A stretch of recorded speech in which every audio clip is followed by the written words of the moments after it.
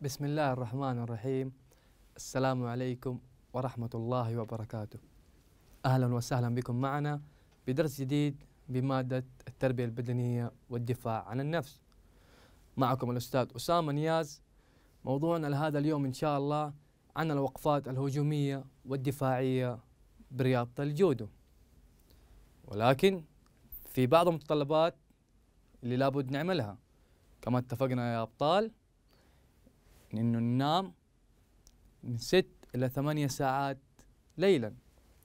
شوفوا يا أبطال والتغذية السليمة وهو الأكل السليم والتنوع بالأكل الصحي وعدم شرب المشروبات الغازية. ثالثا اللباس الرياضي المت- المناسب. أن يكون مناسق متناسق بالجسم ليس فضفاضا أو ضيق. تمام يا أبطال؟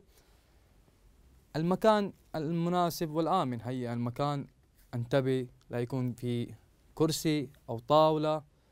لازم يكون وضع آمن عشان نحمي نفسنا من الإصابة. الإحماء المناسب قبل النشاط. زي ما أنتم عارفين يا أبطال إنه لابد أن نعمل الإحماء قبل أي أي نشاط ليس فقط الجودو. سادسا شرب الماء قبل وأثناء وبعد النشاط. تمام يا أبطال؟ يلا خليكم مستعدين. جيب معاك قارورة موية خليها معاك عشان نبدأ بشرح المهارة رياضة الجودو. بس ولكن قبل ما نبدأ نعمل نعمل إيش؟ الإحماء. أحسنتم يا أبطال. تمام يا أبطال؟ أول تمرين عندنا المشي بالمكان. يلا كلنا استعداد؟ تمرين ابتدي. واحد اثنين ثلاث أربع خمس ست سبع ثمان تسع. مرة ثانية يا شباب واحد اثنين ثلاث أربع خمس ست سبع ثمان تسع. آخر مرة يا أبطال واحد اثنين أحسنتم ثلاث أربع خمس ست سبع ثمان تسع. جماعة قف. يعطيكم العافية أبطال. يلا ناخذ نفس.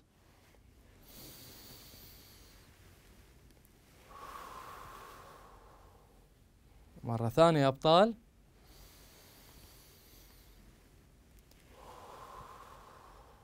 شهيق وزفير آخر مرة.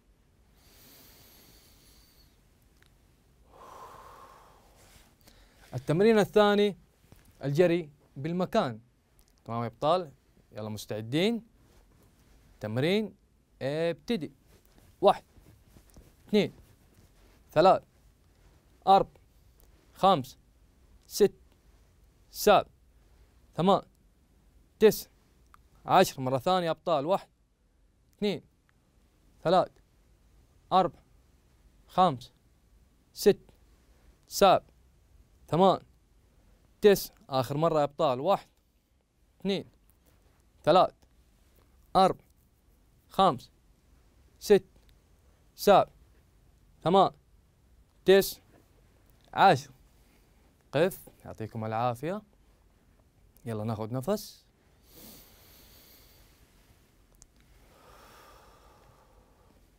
ليش ناخذ نفس بعد التمرين؟ عشان ناخذ الاكسجين لجسمنا ولعضلاتنا ولعضلة القلب عشان نريحها تمام؟ يلا مرة ثانية.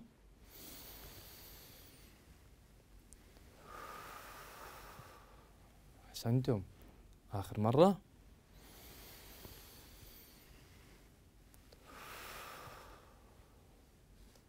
التمرين الجاي شباب نوقف الوقفة الطبيعية. الذراعين جانبا ضع. أيوة. والدوران للأمام. تمام يا أبطال؟ يلا تمرين ابتدي. واحد اثنين ثلاث أربع خمس ست سبع ثمان تسع. آخر مرة. واحد اثنين ثلاث أربع خمس ست سبع ثمان. جماعة قف. يعطيكم العافية أبطال. يلا ناخذ نفس.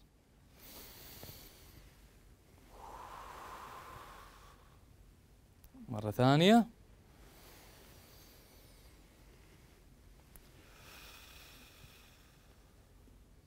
آخر مرة.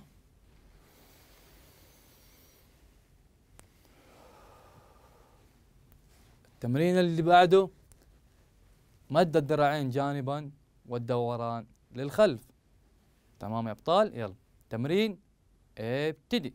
واحد اثنين ثلاث أربع خمس ست سبع ثمان تسع عشر واحد اثنين ثلاث أربع خمس ست سبع ثمانية. جماعة قف. يعطيكم العافية. يلا مرة ثانية ناخذ نفس.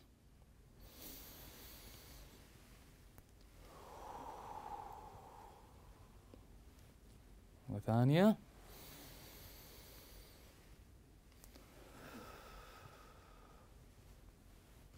آخر مرة.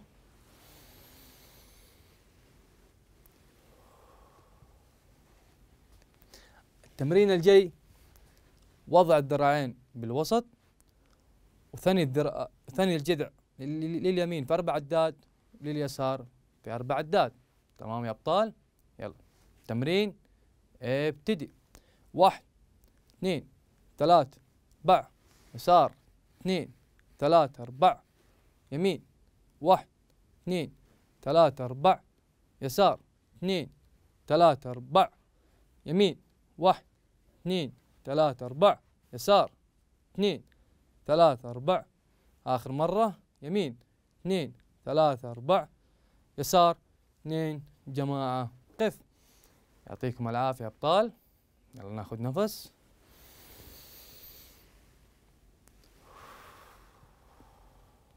أحسنتم. مرة ثانية.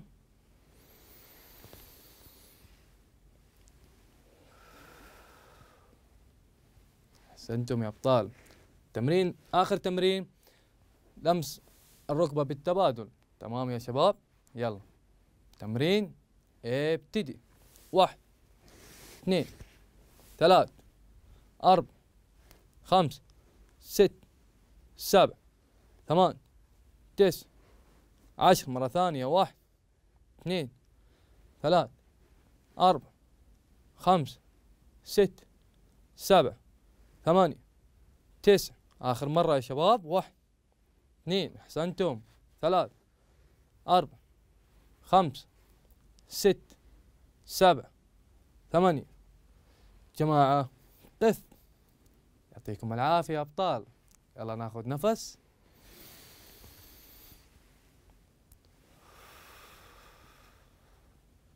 مرة ثانية.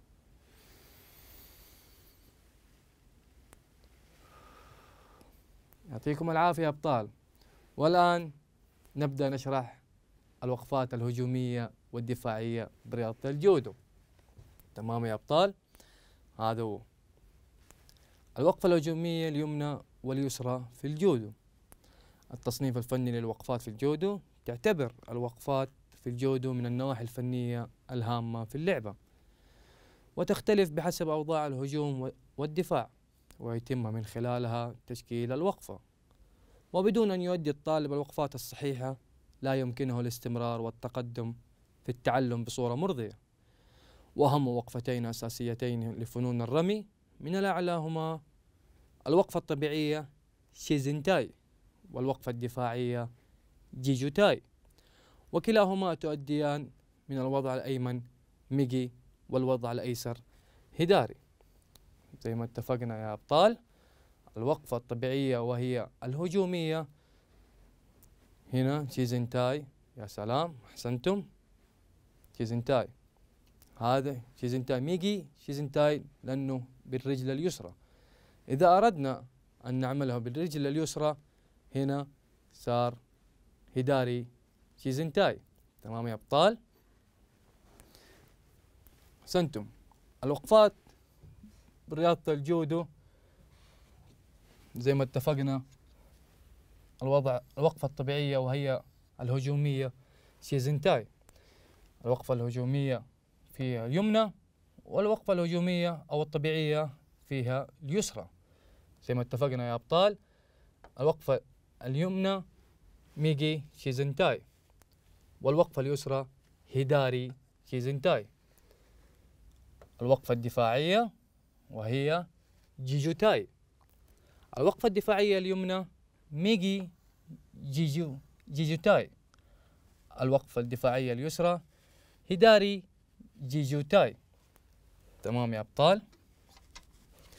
عندنا الوقفة الدفاعية وهي هنا. ثني الذراعين ثني عفوا ثني الركبتين قليلا. نعم هذه الوقفة الدفاعية اليسرى وهنا الوقفة الدفاعية اليمنى. تمام يا أبطال؟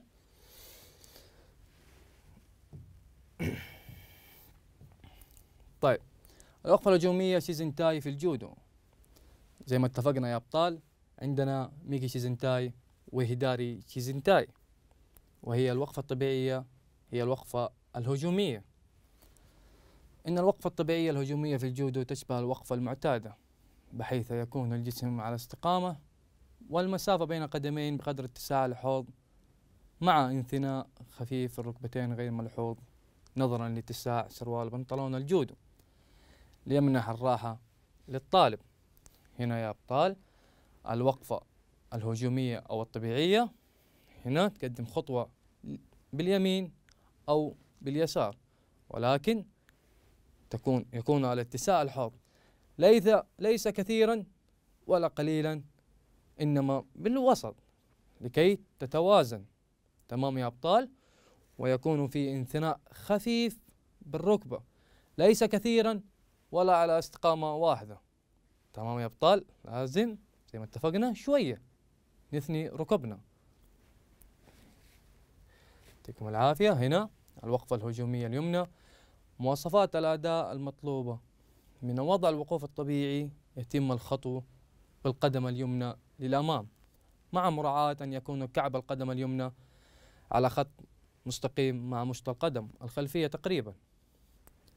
تكون الذراعين بجانب الجسم على استقامة واحدة مع الجسم والرأس. تكون المسافة بين القدمين باتساع الحوض للمحافظة على توازن الجسم أثناء الوقوف على البساط. زي ما أنتم شايفين يا أبطال عندنا بالوقفة الهجومية أو الطبيعية مشط القدم لا يكون يمينا أو يسارا يكون اتجاه القدم للأمام. تمام يا أبطال؟ ونفس الكلام بالقدم الأخرى يكون اتجاهها للأمام والذراعين جانبا والنظر للأمام. تمام يا أبطال؟ الوقفة الهجومية اليسرى مواصفات الأداء المطلوبة من وضع الوقوف الطبيعي شيزنتاي وهي الوقفة الهجومية. يتم الخطو بالقدم اليسرى للأمام مع مراعاة أن يكون القدم القدم كعب القدم الأمامية على خط مستقيم مع مشط القدم الخلفية تقريبا. تكون الذراعان بجانب الجسم على استقامة واحدة مع الجسم والرأس. تكون المسافة بين القدمين باتساع الحوض للمحافظة على توازن الجسم أثناء الوقوف على البساط هاي يا شباب هذه الوقفة الهجومية بالرجل اليسرى اللي هي إيش اسمها؟ 左 自然体. 自然体 معناتها الوقفة الهجومية أو الوقفة الطبيعية. هيداري وهي اليسرى.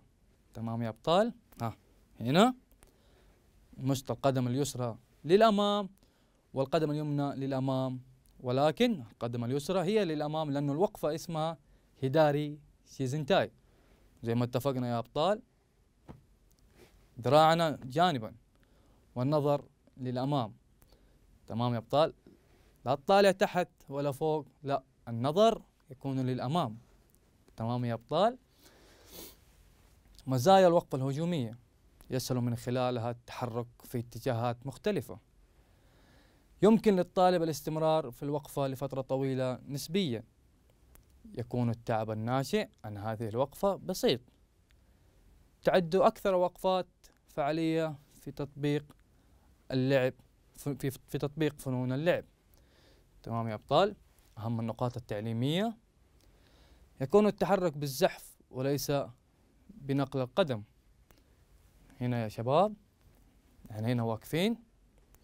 التحرك يكون بالزحف رجلك قريبة من من البساط. لا ترفع رجلك وتمشي. هذا غلط. يكون بالزحف. تمام يا أبطال؟ هنا ها. أزحف على البساط. لا ترفع رجلك. تمام يا أبطال؟